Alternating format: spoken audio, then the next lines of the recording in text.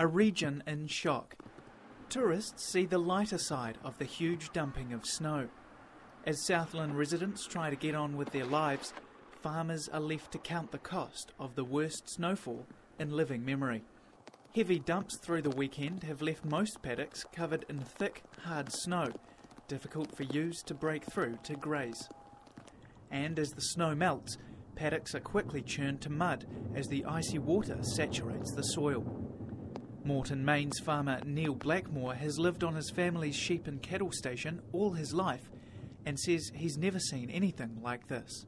This would be the worst that I've ever struck. Uh, eight inches over, pretty near a whole farm, there'd be over eight inches of uh, snow.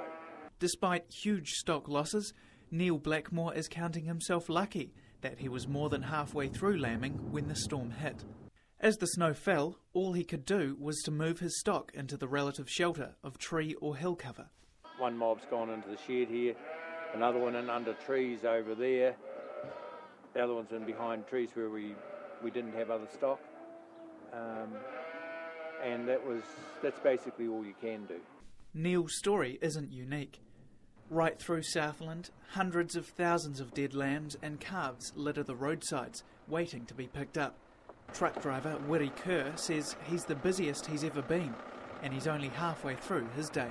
Our run today is reasonably large. It's our second trip in the truck today. We've got a ute loaded back at the yard waiting to be clean shipped, and we're not even halfway around our run yet.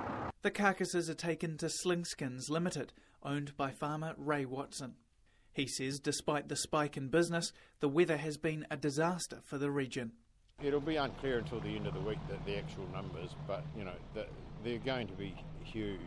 Um, there's the, the losses are really this time round unbelievable.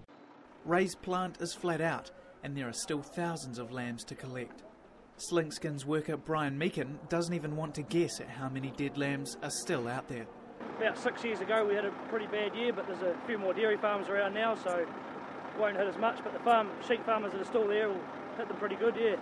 Early estimates put the toll as high as a million lambs dead already, and with further cold weather predicted, it may be days before the total count is known. Agriculture Minister David Carter says it's another body blow for the South Island's already battered rural economy. Well, the poor South Island's been through a lot lately. We've had the Christchurch earthquake, and of course, government responded very, very quickly there. We've had a lot of ministers down. This is very much an agricultural event, apart from the stadium as well in Invercargill. But as an agricultural event, I, as the minister, want to get there as quickly as possible. Federated Farmers Southland President Rod Pemberton, though, says the biggest cost may be the emotional toll on farmers. Just hope that the farmers themselves keep going, and this frame of mind, I suppose, one of the things we're concerned about now, depression and things like that. And with immense damage to Southland businesses and homes, the true cost of 2010 both financially and emotionally, may be impossible to measure. Drew Chappell, Country 99 TV News.